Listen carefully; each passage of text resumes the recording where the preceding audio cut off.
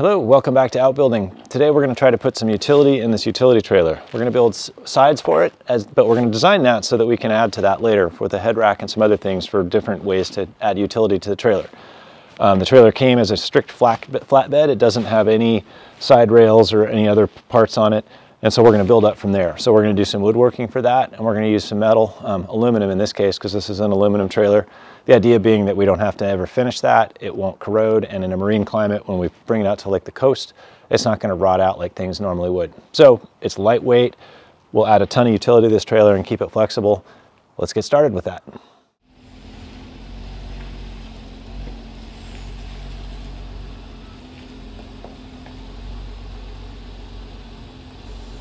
Start with the design, I first pulled the trailer and the Jeep together, got out a measuring tape and started measuring things. The former trailer we had, the first trailer we had, was galvanized, super light and pretty effective, but it was really pretty small, and the walls never came down, so it was hard to move things on, on the flatbed. The second trailer we had was much bigger. It had wooden sides that dropped in and out in stake pockets, kind of like what we're going to do here. But the trailer itself was really heavy, had no brakes, and was the sides were kind of falling apart. So with these measurements and these past things, we can sit down and start working on a design. For the design, we started with just a, a model of the platform. So I've got the trailer measured out and um, the Jeep sort of in their proper orientation so I can make sure that everything clears that. And to that, I'm going to start by adding just sides. So the sides, I came up with an idea similar to the old trailer with uh, pressure treated plywood and pressure treated um, dimensional lumber so that it'll hold up to the weather, and then aluminum corners here that have sort of sleeved um, stakes, if you will, that will hold it. Those stakes continue up on the top so that we can build up on top of this platform. So they're they're they're there in front. There's a couple, an intermediate one and a front one, and then in back there's bigger tubes um, that will accept the tailgate and that tailgate sits down in those those stakes. But when you take the tailgate out, you can add in instead you can add a ladder rack up on top so we can have a aluminum frame that is in the front there and a bigger frame in the back and then sort of a ladder rack across the top and there's space all the way through it. It'll clear the jeep and i can that's a 20 foot piece of pvc um, schedule 40 so that's sort of a typical kind of thing you might carry that's long on top of the on top of the rack. But then i want to be able to also turn around and let's see here if I flip that ladder over, then I can walk. That's um, six foot three clearance in there so that you can walk inside there pretty easily. And to that, I can add some doors in the back that open sort of like a normal uh, cargo trailer and then a front panel to but to take on the wind as driving down the freeway and then I'm thinking of using snaps that are secured, riveted into the aluminum on the sides, and then a sort of a, a, canvas cover. So this would be like weather resistant, it wouldn't be weatherproof, but it would be good for carrying things in our inclement weather we have in the Northwest, and also sort of secure things inside um, with the door to get in the back. So those doors would actually hinge into the upper hoop that goes over the top. The ladder rack flips upside down to create the structure and kind of a roof, and then there's a couple more members there. So it's a little bit ambitious, and I don't know that we'll get that far, but certainly the sides I know I'll use. I've used those before, and I think the ladder rack is something that would really be useful now because I do that on the on, on a really long tray that sits on the flatbed, and that, that ends up scraping the, the ground when I go over bumps and stuff. It's just a little bit walk, awkward. So having that ladder rack would be nice. So that's the design. Um, I'll switch over to CAD, I mean to sheet drawings, and I'll draw this out, get dimensions on it and everything, and then can start working on the construction there's a lot of redundancy in the little tabs that hold the stainless or the aluminum pieces on the edges of the trailer sides. And so I decided to go ahead and cut those with the CNC rig. Um, I do the cam code in a weird way. I start with some C code, which um, I write in a text editor. Then I compile that code, and uh, it creates a little executable that when I run that, it'll generate the code for what I'm doing. And this is just a way I've gotten used to it. I wouldn't really suggest it um, is the easiest way, but I'm used to it. Um, I then I found this this clever little editor or viewer on the internet, and I'll share this in the description below. Uh, it's just a place that you can take your C code, and if I take my code and I dump it into the uh, into the viewer, I can kind of look at the path it's going to take, and I can walk through the code here on the side and uh, sort of simulate what it's going to look like when it when it cuts. And so that's useful for me just to kind of preview my code and make sure that I'm on the right track. The the CNC mill actually has similar software, but this is a great way to get a first pass of that done. So I started here, got my file done to cut the cut some radius corners on the the uh, aluminum tabs and also drill holes in them. And then I moved over to the mill to start go ahead and machining those.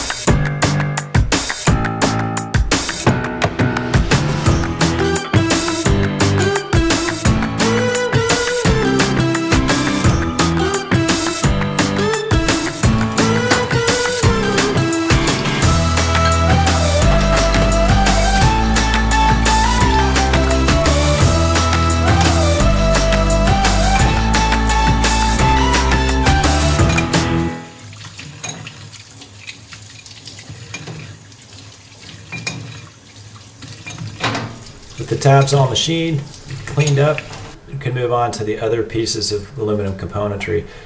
That meant just measuring out to, to length based on the plans, cutting to length on the bandsaw, and then filing a little bit just to clean up the burred edges before getting ready to weld.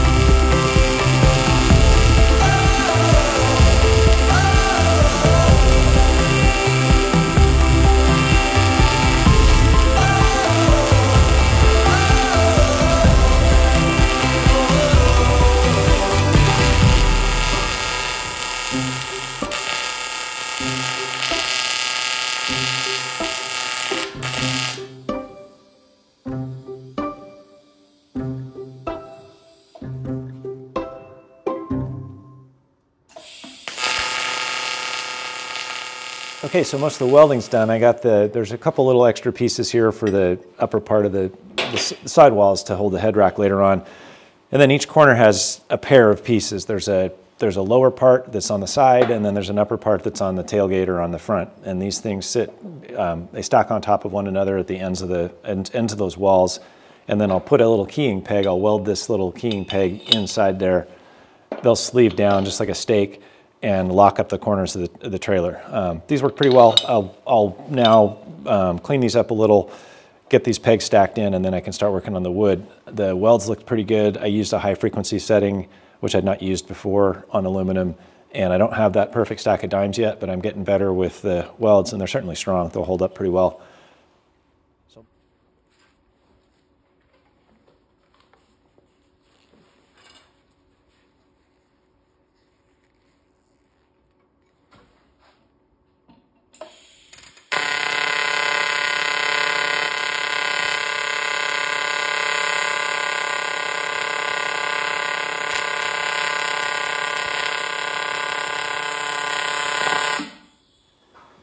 So one challenge I came into when I was putting these pegs in is the pegs are a little bit smaller than the tube they go in. So what I did is I drilled holes in the, um, in the outer tube and then I can set these in and place spacers in between to hold it up tight against the wall there.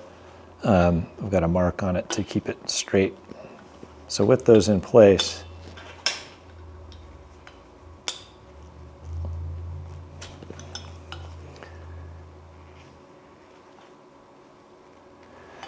I can then weld in the weld in these holes and um, and and freeze those points. And I think that's called a rosette. I'm not sure, but anyway, here's here's the one I did earlier for the for the other side. Holds it in there pretty well, and then the the tube is a little bit offset in the spacing, and that'll actually work well for the way it wants to orient when putting it together with the trailer.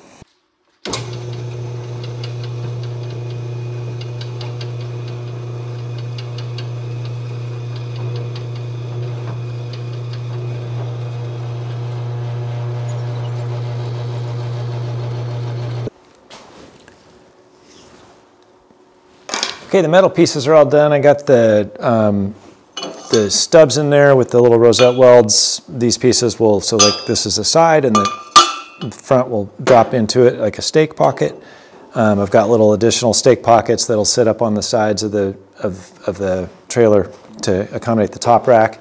And then this is, um, I had to, I didn't have a single peg for these, so I used a double peg um, use the same rosettes in those, and this is the tailgate facing your camera there. Um, the tailgate will drop in and, and stay put with those on both sides. So I'll build up the wood. This is just sort of the, the four corners of the box and uh, put the, that together. I got real lucky on this. This is the scrap I had after doing the metal. Um, I had ordered it online and got it just right. So I was pretty fortunate. Anyway, we'll move on to the wood.